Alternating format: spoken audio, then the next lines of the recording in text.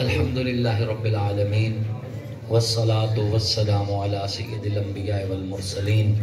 جز اللہ عنا محمد ما هو اہلو اے اللہ، ہمارے گناہوں کو معاف فرما، ہماری خطاؤں کو معاف فرما. ہم توبہ کرتے ہیں، توبہ نصیب فرما۔ اے اللہ اس مسجد کو، اس مدرسے کو قیامت کی صبح تک آباد فرما۔ اے اللہ ان کی جملہ ضروریات غیب کے خزانوں سے حلال، طیب، پاک راستوں سے پوری فرما۔ اے اللہ قرآن پڑھنے والوں کو قبول فرما۔ اے اللہ قرآن پڑھانے والوں کو قبول فرما۔ اے اللہ قرآن والوں کے لیے انتظام کرنے والوں کو قبول فرما۔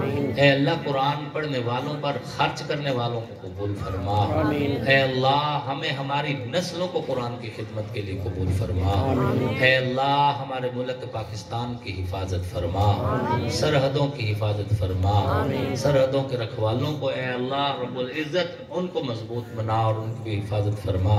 اے کائنات کے خالق اور مالک رب، ہم سب کو جتنے لوگ یہاں پر بیٹھے ہیں، ایمان، عزت، صحت کی سلامتی والی، کامل ہدایت والی، لمبی خوشحال زندگی نصیب فرما۔ اے اللہ اے اللہ ہم میں سے جتنے لوگ جو پہلے پروگرام میں آیا کرتے تھے اس مسجد کے نمازی تھے فوت ہو گئے اے اللہ ہماری دعائیں جنت کے تحفوں کی صورت میں ان تک پہنچا۔ اے اللہ امت مسلمہ کے تمام مرحومین کی اے اللہ کامل بخشش فرما۔ اے میرے مالک غزہ کے مسلمانوں کی مدد فرما۔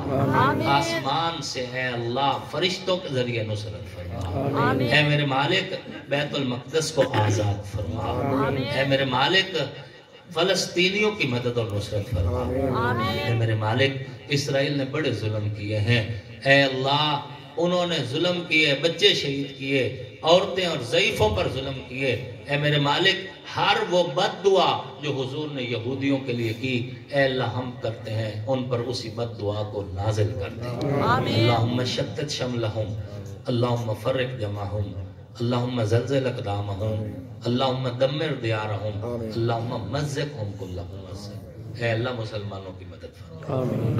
ربنا آتنا فی الدنیا حسنتا و فی الاخرت حسنتا و قنا عذاب النار. جتنے لوگ یہاں بیٹھے ہیں اے میرے مالک ان میں سے جن کو پہلے نصیب ہوئی ان کو بھی اور جن کے نہیں نصیب ہوا ان کو بھی میرے سمیت اے میرے مالک مقبولیت والا قبولیت والا اے اللہ حج ہم سب کو نصیب فرما۔ اے اللہ عمرہ کی سعادت نصیب فرما۔ حرمین شریفین کی زیارت نصیب فرما۔ اے اللہ حرمین شریفین کی برکتیں نصیب فرما۔ اے کائنات کے خالق اور مالک رب زندگی کے جس میدان میں ہیں اے اللہ ہم سے اپنی امت کو نفع نصیب فرما۔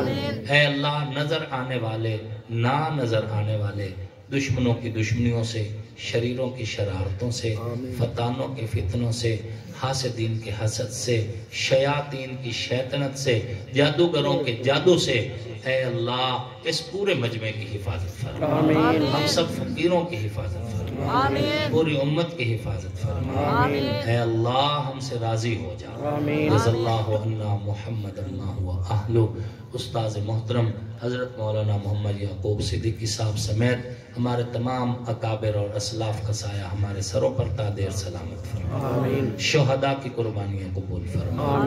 اسیروں کی رہائی کے اسباب مہیا فرما۔ موجودہ ہمارے جو صاحب ایمان لوگ ہیں اللہ ان کی حفاظت فرما۔ ہمارے بزرگ ملک عبدالرزاق کھوکر صاحب کو بھی میرے مالک شفا کاملہ عاجلہ مستمرہ دائمہ نصیب فرما۔ جن جن لوگوں کے دل میں جو جو دعا ہے اے اللہ تو دل سے واقف ہے اے اللہ ان کی ساری خواہشات حاجات کو اپنے فضل سے پورا فرما۔ اللہم جل قید من ارادنا بسوئن فی نحری اللہم انا نجل فی نحورہم ونعوذ بک من شرورہم۔ اے اللہ بے موسمی بارشوں سے بچا۔ اے اللہ ایسا موسم دے جو ہماری نسلوں کو بھی فائدہ دے اور ہماری فصلوں کو بھی فائدہ دے۔ اے میرے مالک ہمارے کسان بھائیوں نے بڑی محنت کی بڑی مشقت کی فصلیں تیار کی اے اللہ ان کی فصلوں میں برکت نصیب فرما۔ اے اللہ اناج میں برکت نصیب فرما۔ رزق میں برکت نصیب فرما۔ پھر اچھے داموں ان کی جنس اور اجناس کو فروخت کرنے کا اللہ انتظام فرما۔